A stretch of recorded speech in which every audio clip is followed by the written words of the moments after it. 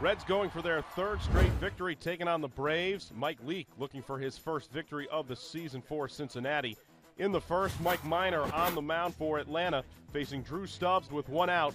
And Stubbs connects for the solo home run to left, his fourth of the season. That put the Reds up 1 0. Top three after a Braves run tied it at one.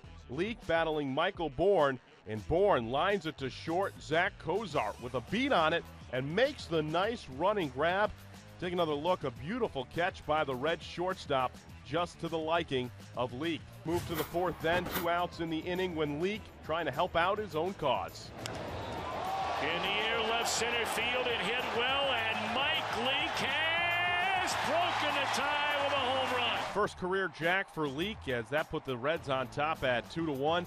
In fact, a pretty nice fan to give the ball back to Leake. Next batter, it's Cozart, and see you later. The solo home run to left field, his fourth of the season. 3 1 Reds at this point, off back to back home runs for Cincinnati. And it was a good night, especially for this fan who would get both home run balls as a result. Very next batter is Stubbs, looking to make it three straight home runs. This ball is in the air to right center field. It's back to back to back. Second of the game for Stubbs. That would extend the lead for the Reds to 4 1. All of this coming with two outs in the inning. Leake in control throughout his night in the eighth. Gets Eric Hinske looking for the strikeout. And then he's able to get Bourn to fly out to left. Leake goes eight innings, surrendering just one run on two hits, along with a season high six strikeouts. Top nine, Jose Arredondo on the mound for Cincinnati with Martin Prado batting.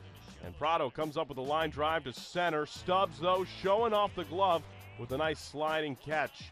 The Reds come up with the victory 4 1 the final. Leake earns his first win of the season. As for Stubbs, he goes two for three at the plate with two home runs in the win. Mike Minor suffering the loss for Atlanta, going six innings, giving up four earned runs, all of which were home runs.